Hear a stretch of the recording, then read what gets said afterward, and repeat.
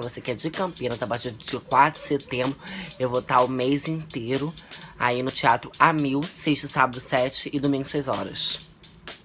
E segunda eu vou estar voltando pra casa.